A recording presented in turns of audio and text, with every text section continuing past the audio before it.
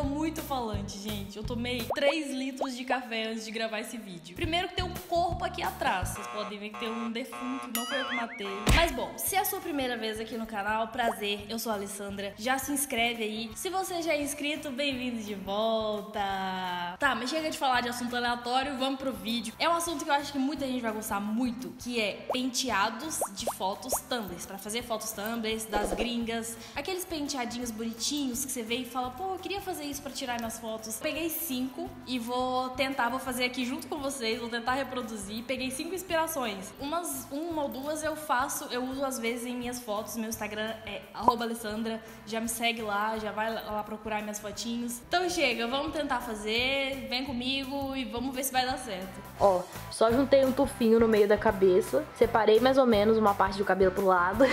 e agora a gente vai fazer um coquinho. Pra quem tem cabelo, um coque. No meu caso, não é um coque, é um pedacinho de bosta. E pronto, o primeiro já foi.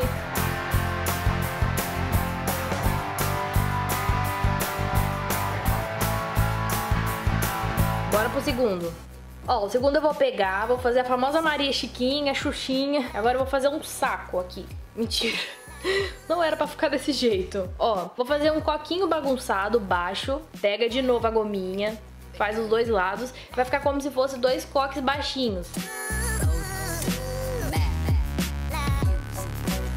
Aí, pra incrementar o penteado, ficar bem tambre, a gente vai pegar o quê? Um boné, que eu queria que fosse rosa, mas o único que tinha é o do Rock in Rio. Temos o, o segundo penteado tambre. Yeah. Uh.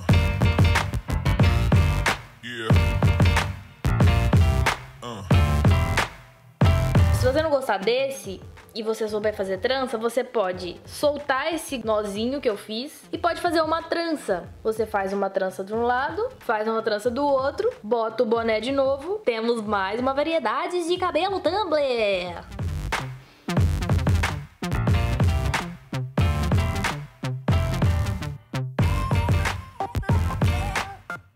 Você vai colocar ele bem pra cima mesmo. Como se fosse fazer um rabo alto, sabe? Levanta bastante, junta bastante cabelo, levanta a cabeça, princesa, senão a coroa cai. Aí bota o grampo de novo. O grampo tá salvando o rolê sempre. Aê! Agora o que, que eu vou fazer? Duvido que você acerta. Ai, ficou um pouco estranho o caroço aqui atrás. Agora eu vou puxar a mechinha mais uma vez na frente pra dar aquele charmes. Bota a mechinha pra frente, bota a mechinha pra jogo. Aê, mais um penteado. Terceiro penteado, cheque.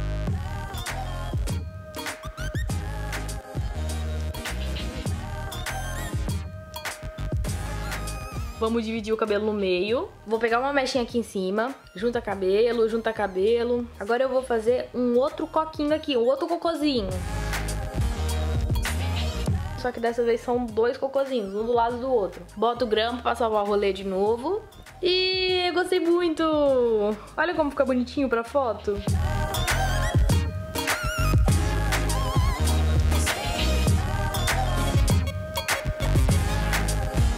Vou separar uma mechinha aqui na frente. Vou botar o quê? O grampo, mais uma vez salvando o rolê. Agora eu vou fazer uma trancinha aqui do lado.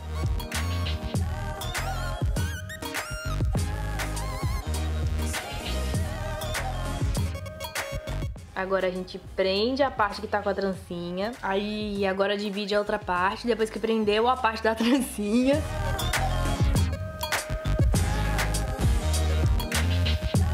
Mais uma vez o grampítio e pronto, prendeu. Agora temos dois chifrinhos de trança. Ah, que fofura, ficou pronto.